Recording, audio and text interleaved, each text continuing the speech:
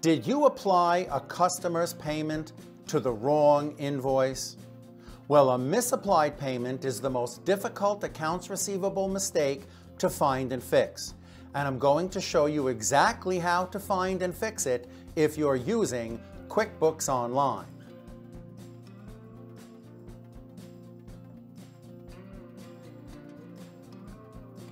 So why is a misapplied customer payment so difficult to find and fix?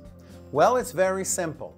It's the only mistake that cannot be found by simply comparing every transaction one by one in your records to every transaction one by one in the customer records when you're on the phone with the customer.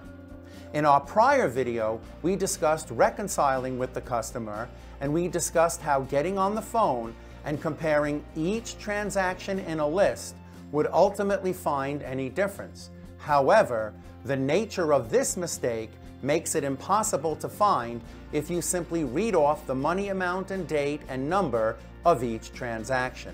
If you have this mistake in your records, the transaction list will look exactly the same as your customers.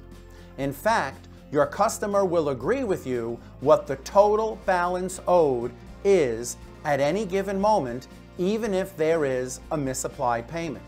In fact, even the running balance, which is the balance after each transaction, will still be the same in both of your records if you have a misapplied payment hidden somewhere.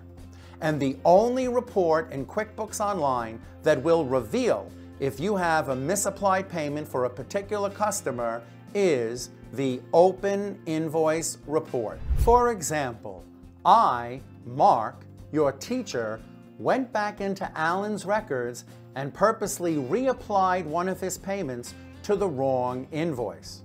Now, if I sent him a balance forward type of statement, it would not reveal this mistake. And that's because this type of statement only shows the amount and the running balance, and there would be no indication that a payment was applied to the wrong invoice. And the customer will agree with every single transaction listed on this type of statement if the only mistake is a misapplied payment.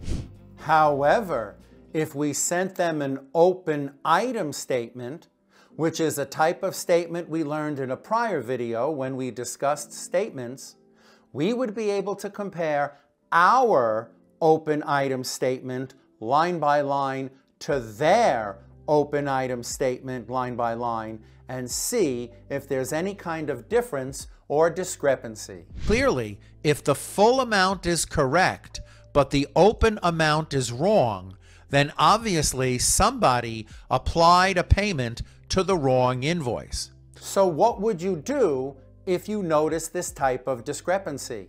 Well, we know the mistake is somebody applied a customer's payment to the wrong invoice. And we don't yet know if it's our mistake or the customer's mistake. But QuickBooks Online comes with something great. QuickBooks Online allows you to send a transaction statement. A transaction statement allows us to compare the total that we indicate that we received for an invoice to the total that the customer believes they paid for a particular invoice. That would help reveal a misapplied payment. You can see in our records there were no payments applied to invoice number 5 and $1,300 worth of payment to invoice number 10. But in their records, they had $1,000 applied to invoice number 5 and only 380 applied to invoice number 10. So obviously the payment in the amount of $1,000 is the one that got misapplied. In other words, if I click reports, custom reports, I can open up my favorite report for reconciling with customers, transaction list by customer. I can pick any invoice and by double clicking on any invoice, I can open it up. For example, invoice number 10. And when we go to any invoice, we can look right in the top right corner and see how many payments were made and the total applied. In fact, we can even click on this and get a list of all the payments that were applied to this invoice. Now all we have to do is double click right on the listed payment and we'll be able to reopen that payment and see exactly how it was applied to the different invoices. So now that we know how to find how each customer payment was applied, what do we do? Well, we have to get on the phone with the customer's bookkeeper. We have to open up each of their payments that we received from them one by one. We have to discuss which payments were applied to which invoices. And when we find the party who made the mistake, whoever made the mistake should fix it right there at the moment that we're on the phone. If it's our mistake, we're simply going to uncheck the wrong one and recheck the correct one so that all of their payments are applied to the proper invoice. Then, of course, we're going to have to resend them an updated, corrected statement. And again, the best report to do this with is our good friend, Transaction List by Customer. Well, let's imagine we're on the phone with the customer looking at Alan's transactions for the month of January, and we want to see where there is a misapplied payment and we're going through the list with the customer one by one, opening up only the payments to see where the check marks are applied and see if we agree where we applied the payment. Eventually, we will get to the payment with the difference and the discrepancy.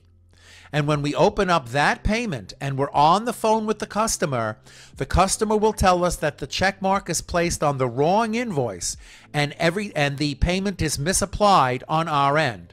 So all we have to do is uncheck the wrong one and recheck the right one. Then when we click save and close and click yes, we can confirm that the payment is applied properly by looking at the open invoice report we click reports and we go down to open invoice and we can see the balances have now corrected themselves for Alan and they now match the customer's January records.